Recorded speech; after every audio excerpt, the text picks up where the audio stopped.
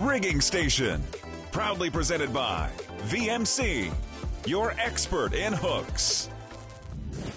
What's up, guys, and welcome to this episode's rigging station. Real quick, want to talk to you about the tackle that we're fishing, our primary outfit here today, especially for these aggressive Cero mackerel, is a Chaos Gold 7 foot 6 spinning rod rated for 8 to 17 pound line. It's matched to a Shimano Stratic 4000. Vital that you've got a silky smooth drag with these fish that just go on blistering runs. Reels loaded with 20 pound diamond line in the super clear. Very stealthy when fishing the shallow water with crystal clear uh, you know, conditions. Really, really important that you go with something that just melts right into the environment. From that 12 pound, we go to a 20 pound fluorocarbon leader tied with a blood knot, about 20 feet of 20 pound.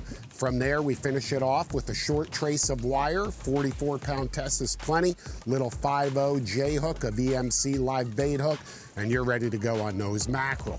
We also beef it up, six foot six spinning outfit, Shimano Twin Power 8000, 30 pound braid, 30 pound fluorocarbon leader, and that's the rod that we're fishing the jig heads on with either a live pinfish, a live ballyhoo, right on the bottom for the snappers, groupers, and all other stuff that lives on or near the bottom.